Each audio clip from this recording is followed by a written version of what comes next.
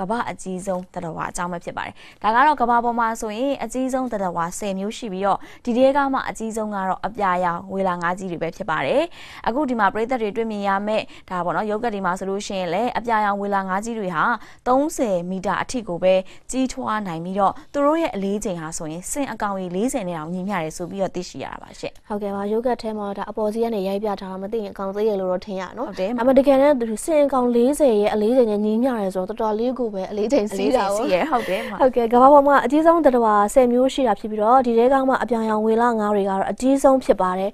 ကမ္ဘာပေါ်မှာပထမဦးဆုံးနေထိုင်ခဲ့တဲ့သက်ရှိသတ္တဝါတွေဖြစ်တဲ့ဒိုင်နိုဆောမျိုးစိတ်တွေထက်တောင်မှအဲ့ဒီအပြာရောင်ဝေလငါးကြီးတွေကအရွယ်စားပို့ပြီးတော့ကြီးပါတယ်ဒီပေါ့နော်ပို့ပြီးတော့အရွယ်စားရောက်လာတဲ့ဝေလငါးတွေ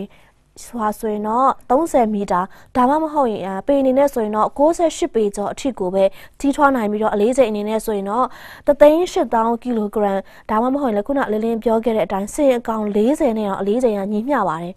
အပြန်ဝေလငါးကြီးတွေကတော့ကဘာပေါ်မှာအသက်အရှိဆုံးတတဝါတွေတဲကမှတကအခုအပါဝင်ဖြစ်ပြီးတော့ဗောနော်နှစ်ပေါင်းဆိုရင်တော့နှစ်ပေါင်း100ကျော်ထိတောင်အသက်ရှင်တန်နိုင်ကြတာဖြစ်ပါတယ်ဟုတ်ပါတယ်ဒါကတော့ဒါသူ့ရဲ့နေထိုင်နိုင်တဲ့သက်တမ်းနှစ်ပေါင်း100ထိအောင်ဗောနော်အသက်ရှင်အောင်နေထိုင်နေဒီမှာဆိုလဲအဲ့ဒီအပြာရောင်ဝေလငါးကြီးတွေဟာသူ့ဗောနော်ရေပြင်ပေါ်မှာတဲ့တစ်ခါအသက်ရှူပြီးရင်တနာရီကျော်တောင်မှရေငုံနိုင်ကြရဲဆိုပြီးတော့သိရှိရတာပါဒီလိုမျိုးရေငုံနိုင်ကြပြီးတော့ရေအောက်100မီတာဒါမှမဟုတ်ပေနဲ့ဆိုရင်တော့328ပေကျော်အထိတောင်သူတို့အနေနဲ့ဗောနော်ဒါသွားကြတာကြောင့်ပဲသူတို့အသက်ရှင်နိုင်ဖို့အလွန်ကြီးမားတဲ့အဆုတ်တွေကိုလိုအပ်တာလည်းဖြစ်ပါတယ်။အပြာရောင်ဝေလာငါးကြီးတွေဟာသူတို့အသက်တစ်ခါရှူပြီးရင်အဆုတ်ထဲမှာအောက်ဆီဂျင်တွေကို80ရာခိုင်နှုန်းကနေ90ရာခိုင်နှုန်းအထိအောင်တိုးလောင်ထားနိုင်တာဖြစ်ပြီးတော့လူသားတွေရဲ့အဆုတ်နဲ့နှိုင်းယှဉ်မယ်ဆိုရင်လူသားတွေက10ရာခိုင်နှုန်းဒါမှမဟုတ်ရင်15ရာခိုင်နှုန်းလောက်ပဲတိုးလောင်ထားနိုင်တာဖြစ်ပါတယ်။ဒါတွေအပြင်ကိုပဲအဲ့ဒီအပြာရောင်ဝေလာငါးကြီးတွေရဲ့ဘောနော်ဒီပါဇက်ဟာဆိုရင်အလွန်ကြီးမားပြီးတော့တစ်ချိန်တည်းကိုတော့မှလူအယောက်100လောက်ထိဝင်ဆက်နိုင်တယ်ဆိုပြီးတော့သိရှိရတာပါရှင့်။အဲ့တော့မကြည့်ပါဘူးလူယောက်100လောက်ပါလားပေါ့နော်ဟုတ်ကဲ့ပါဟုတ်ပါတယ်နောက်ထပ်ဆိုရင်လည်းရေထဲမှာ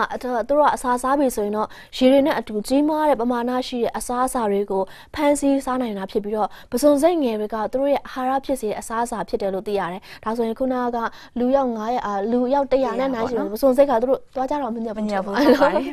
ဟုတ်ကဲ့ပါဒီနွေရာသီကာလတွေမှာဆိုရင်လည်းတစ်နေ့ကို6တန်ကျော်လောက်အထိကိုပဲစားသုံးတတ်ကြပါတယ်ကဘာပေါ်ကအကြီးဆုံးသတ္တဝါတွေဖြစ်တဲ့အဲ့ဒီအပြာရောင်ဝေးလာငါးကြီးတွေကတော့အရင်က2သိန်းခွဲလောက်ထိအရေအတွက်ရှိခဲ့ပေမဲ့လည်းဆယ်စုနှစ်တွေအတွင်းမှာလူသားတွေကသူတို့ရဲ့အသားတွေအစီတွေနဲ့တခြားတန်မိုးရှိတဲ့ခန္ဓာကိုယ်ရဲ့အစိတ်ပိုင်းတွေကိုရယူဖို့အမဲလိုက်တက်ဖြတ်မှုတွေပြုလုပ်ခဲ့တာကြောင့်ပဲလက်ရှိမှာဆိုရင်တော့တဘာဝပတ်ဝန်းကျင်ထိမ့်သိမ်းဆောက်ရှောက်ရေးနိုင်ငံတကာအဖွဲ့အစည်းဖြစ်တဲ့ IUCN ရဲ့မျိုးသုံးပြောက်ွယ်လူနီးပါးဖြစ်နေတဲ့စီးရင်ထဲမှာအပြာရောင်ဝေလငါးကြီးတွေကလည်းပါဝင်နေပြီဖြစ်ပါတယ်